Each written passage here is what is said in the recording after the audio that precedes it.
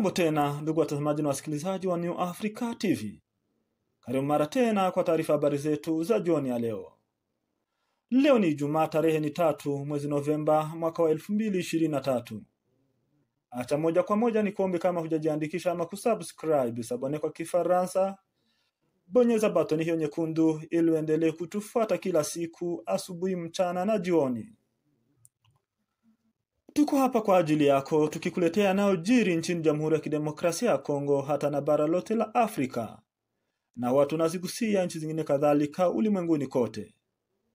Na leo nataka tuanzie habari zetu kwenye mapigano ambayo yanaendelea kati ya nchi ya Israeli na Palestina, alafu tukuje kumalizia nchini Jamhuri ya Kidemokrasia ya Kongo, mashariki mwa nchi hiyo ambayo inaendelea kukumbwa na misukosuko ya kivita. Waziri wa mambo ya nje wa Marekani Antony Blinken awasili Israeli. Vikosi vya Israeli vimeripotiwa kuimarisha mzingiro dhidi ya mji wa Gaza. Katika kipindi hiki ambacho pia waziri wa mambo nje wa Marekani Antony Blinken awasili Israeli kwa mara yake ya tatu.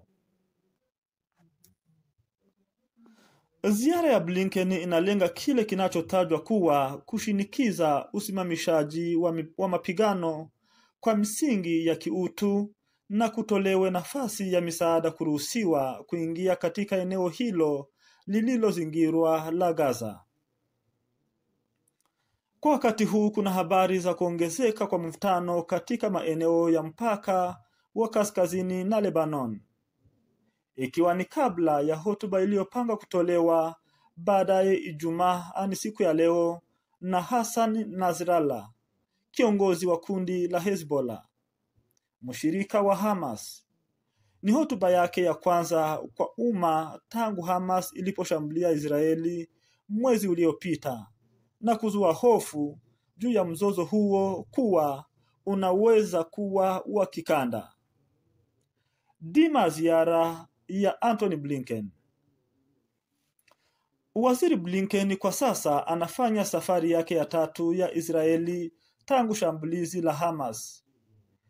Ziara hii itamfikisha Tel Aviv na Amman, Jordan, akiwa na lengo kubwa la kulitilia mkazo pendekezo la Rais Joe Biden la kusitishwa kwa operesheni za kivita lengo likiwa kutoa msaada kwa Palestina na kufanikisha kuondoka zaidi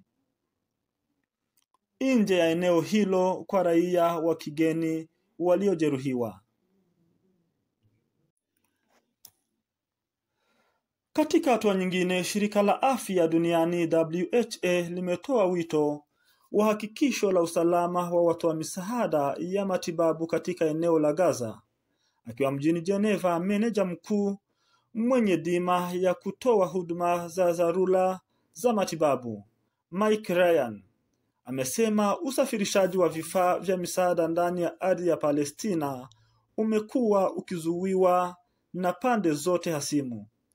Zaidi anasema kuyavusha malori katika eneo la mpaka ni jambo moja, lakini kuyafikisha sehemu yanayohitajika ni jambo jingine na hilo halijawezeshwa, halijaungwa mkono, imekuwa kinyume kabisa.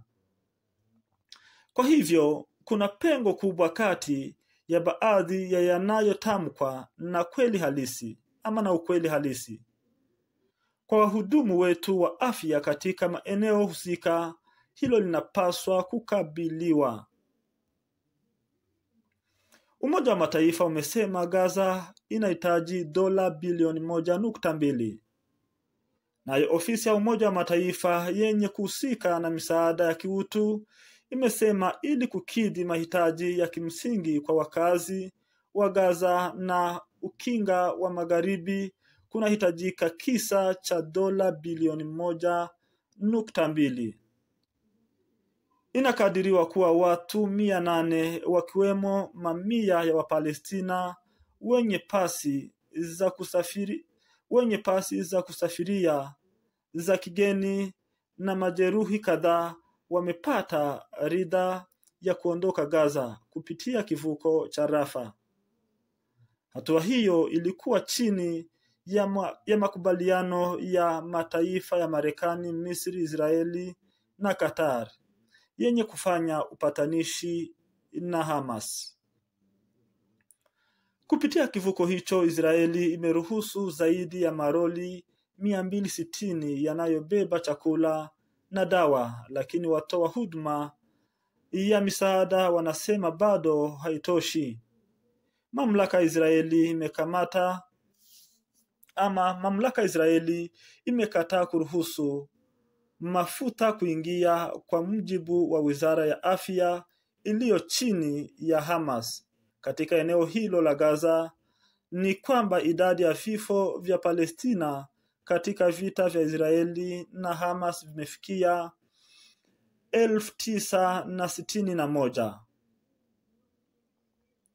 Kimsingi pia rekodi zinaeleza kuwa zaidi ya watu elfu moja mia nne nchini Israeli wameuawa, wengi wao vifo vyao vimetokana na shambulio la Oktoba tarehe saba la Hamas. Kadhalika, mateka mia mbili arobaini na wawili wamewekwa kizuizini na kundi hilo la kigaidi la Hamas. Ndugu mtazamaji na msikilizaji wa New Africa TV, mambo yaendelea kuchafuka na kuwa, mabaya zaidi katika mapigano kati ya jeshi hilo la Israeli IDF na wanajeshi wapiganaji wa kundi la kigaidi la Hamas ambao kwa sasa imetangazwa kuwa wapiganaji wa Israeli wameanza kuingia mjini Gaza na wamezingira mji huo mbele na nyuma, hakuna njia yoyote. Ni baada ya hapo jana kushambulia mara ya pili kambi ya wakimbizi Jabalia ambayo ilikuwa na wakimbizi wengi, lakini Israeli imetangaza kuwa waliweza kuwaua viongozi wawili wa kundi hilo la kigaidi la Hamas ambao walikuwa wamejificha katika kambi hiyo ya wakimbizi. Ndugu mtazamaji na msikilizaji, kumbuka kundi hili la wanamgambo wa Hamas wanaendelea kutumia njia za ardhini kupitia matanol ambayo wamechimba chini ya ardhi ili kuendelea kuepuka mashambulizi ya wapiganaji wa IDF. Lakini ametangaza waziri mkuu wa nchi ya Israeli Benjamin Netanyahu kuwa hata waende kuzimu atawapata huko, waende mbinguni atawapata huko. Amesema kuwa atahakikisha kuwa wamesahaulika kabisa kabisa kabisa kwenye ukanda wa Gaza. Amesema kuwa atahakikisha kuwa hakuna mtu hata mmoja wa Hamas atakuja kubaki wa kusema habari. Katika hotuba ameitoa jana, amesema kuwa ni lazima Israeli ihakikishe kuwa Hamas itabaki ikiwa ni historia kwa dunia hii. Sababu tena ambalo amelifanya, amesema kuwa hili silo la kwanza, hili silo la pili. Hamas wameendelea kukosesha amani nchi ya Israeli. Sasa this time round amesema kuwa tutakabiliana na wao, mvua inyeshe isinyeshe, hadi mtu wa kwanza wa Hamas tum, tumkamate mikononi yetu. Jeshi la Israeli latangaza kuuzingira kikamilifu mji wa Gaza. Msemaji Jeshi la Israeli latangaza kuzingira kikamilifu mji wa Gaza.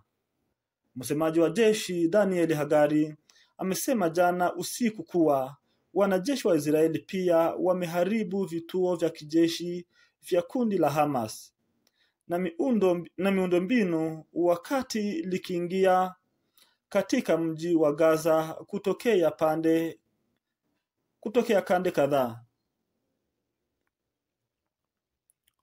Jeshi la Israeli limetangaza kuzingira kikamilifu mji wa Gaza kupitia msemaji wa jeshi la Israeli Daniel Hagari amesema jana usiku kuwa wanajeshi wa Israeli pia wameharibu vituo vya kijeshi vya kundi la Hamas na miundombinu wakati likiingia katika mji wa Gaza kutokea pande kadhaa.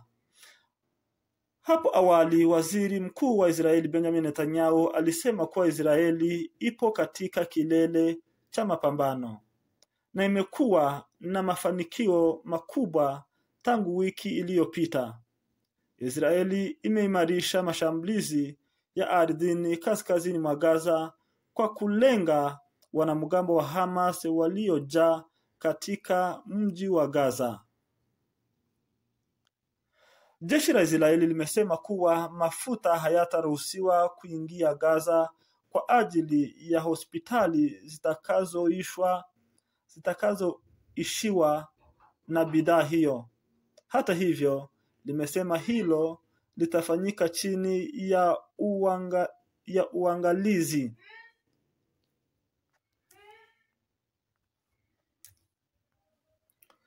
Mamia ya maelfu ya raia wa Kipalestina wamenasa wa katika mapigano hayo. Licha ya mito ya mara kwa mara ya Israeli kuwataka wahamie kusini mwa Gaza ambako pia wanapigwa na mashambulizi ya kutokea angani. Hezbollah yayapiga maeneo ya mpakani Israeli. Kundi la Hezbollah la Lebanoni limesema limeyapiga maeneo kumi na tisa ya Israeli kwenye mpaka wa nchi hiyo, hatua iliyosababisha shambulizi pana la kulipiza kwenye mkesha wa hotuba ya kiongozi wa kundi hilo linaloungwa mkono na Iran kuhusu vita vya Israeli na Hamas. Shirika la huduma za dharura za matibabu la Israeli limesema mfululizo mwingine wa makombora ume, umewajeruhi watu wawili katika mji wa Israeli wa Kiryat